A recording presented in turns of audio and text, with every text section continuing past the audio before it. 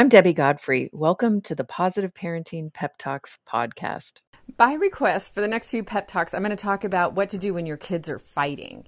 And I'm going to go through several different ideas over the next couple of days and just give you ways to look at the fighting and then ways to also handle the fighting.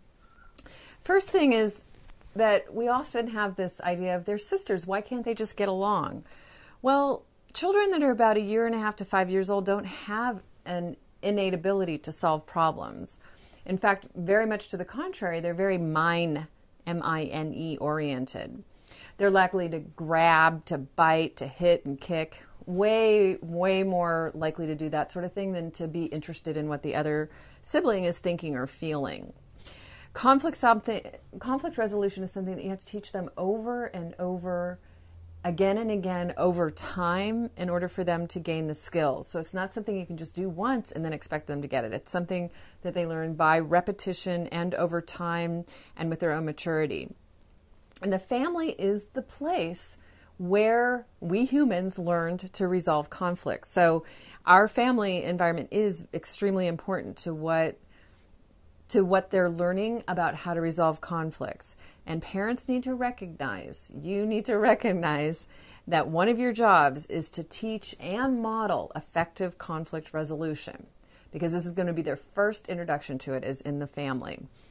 So this requires you to be not only really good at teaching conflict resolution, but also modeling it with your spouse, with your relatives, with the other adults that you encounter and in the everyday conflicts that you have with your child. So, how you're handling those is what you're role modeling. A lot of times, we parents just try to stop whatever behavior it is, like, you know, don't do that. But what they really need are resolution skills to be able to handle it when they have a problem with someone or something. So, it's essential that we teach them skills rather than just stopping the fighting. Children can use the skills with friends, with their spouse and in their business when they're grown up. Children will learn unhealthy ways to manipulate to get what they want if we just stop their fighting and don't teach them how to resolve the conflict. Okay, so younger children have what we call magical thinking. They actually believe that just because they want something a certain way, therefore it is. For example, a younger toy, a younger child who takes the, another child's toy and claims it's mine in that moment really believes that to be true. So trying to, to convince them that it's not theirs isn't going to be effective. They're too little. It's not in their little brains. Once they grab it, it's theirs. So that's going to be enough for today. And what we'll do tomorrow is we'll look at some ways to teach our children to assert themselves and, and solve conflicts. So have a great day. And today, observe your children in their conflicts. Start looking at what are they what are they trying to do? What what is how are they trying to be served? What are they trying to achieve? What are they getting out of this? What, so what is their goodie that they're getting out of this fight? Happy parenting. I hope you enjoyed today's episode of the Positive Parenting Pep Talks podcast.